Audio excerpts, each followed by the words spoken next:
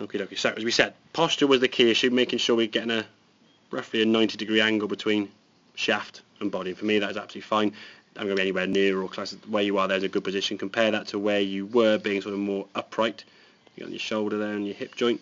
The club now just being a little bit too close. You certainly are nearer the ball there with your feet, as we mm-hmm. said. Yep. So when you are now in this position back here, you just seem further from the ball. But your arms are hanging straight down from the shoulders. Your shoulders are actually in some ways nearer the golf ball, the same distance possibly, I would say.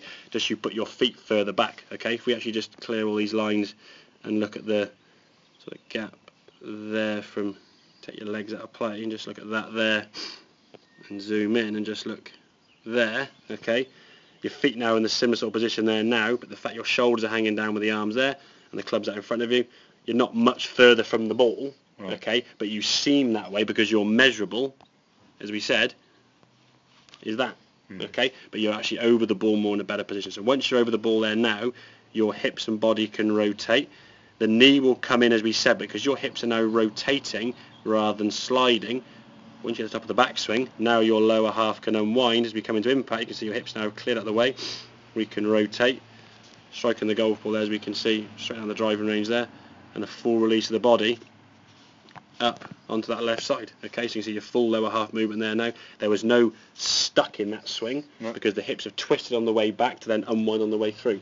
Whereas before you got a little bit sort of slided with the hips there as you came back to the golf ball, sort of standing up a little bit so you come to the sort of a bit stuck there, posture rising up and not able to sort of move out the old shank and that sort of right foot now is almost just sort of kicking through as sort of an afterthought. There's not sort of much twist there, it's just more of a just a and the leg just sort of firing through as a I need to finish the swing so I'll just kick my leg through.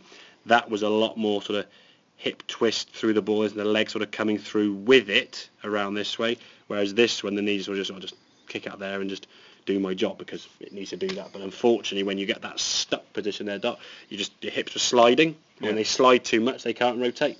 So as a result of that, you knew your leg was a problem. Yeah. But to stop the problem is actually curing it, not just saying don't do it. Okay. Like I say with someone with a cough, say don't cough. That doesn't cure the cough, does it? Yeah. It's actually get them. What, how can we cure this? Change your posture, get your spine angle over the ball more in a roughly 90 degree angle, as we said. Now your hips can rotate more effectively. That's going to give you the best chance for a goal club. I think by the virtue of some of the shots you've hit there, when you get it right now, hmm. it's very good. Just on occasions though, when you set up, you don't quite get the right distance. As I said, when you go through the sequence at setup, start with the club first behind the golf ball, then put your grip on it, creating your posture, and then the last thing you do is set your feet. If you put your feet first and guess, and then just try and lean into the ball or stand up Yeah. accordingly, you're guessing your spine angle.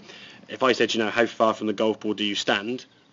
No one knows a number, and if you didn't know a number, you wouldn't measure on the golf course with a mm. tape measure, would you? So it's just purely an eyeball guesstimate. Well, an inch out isn't a long way, is it? But an inch out at impact is a big difference, and that's in the tree shanking or hoiking it way left. So go through the information we know. Club we know goes behind the ball. Hands go on the club.